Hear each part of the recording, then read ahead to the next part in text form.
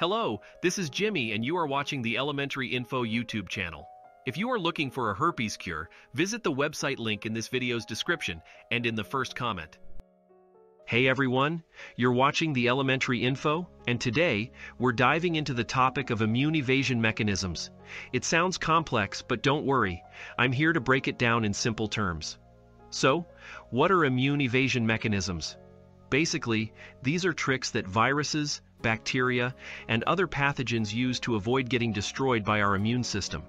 The immune system is our body's defense against infections, and it's pretty good at its job.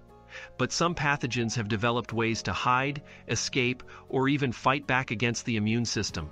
Let's look at a few examples. Hiding from the immune system. Some viruses, like herpes, can hide inside our cells. They stay dormant, which means they're not actively causing symptoms, and the immune system can't easily detect them. This allows the virus to reactivate later and cause symptoms again. Changing appearance.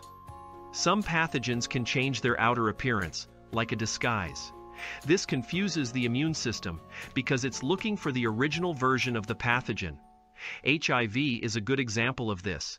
It constantly changes its surface proteins, making it harder for the immune system to recognize and attack it. Blocking immune responses. Some pathogens produce proteins that directly interfere with the immune system. They might block signals that would normally alert the immune system to an infection, or they might prevent immune cells from attacking them. This makes it easier for the pathogen to survive and spread in the body. Why does this matter?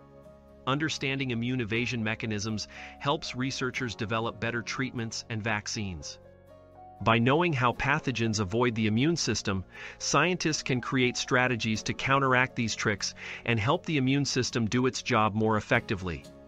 In summary, immune evasion mechanisms are the ways that pathogens outsmart the immune system to survive and cause infections. Learning about these mechanisms is key to improving how we fight off diseases. Thanks for tuning in. If you found this video helpful, give it a thumbs up and subscribe for more simple explanations on health and science topics. Got questions or something you want to learn more about? Drop them in the comments below and I'll see you in the next video on the Elementary Info.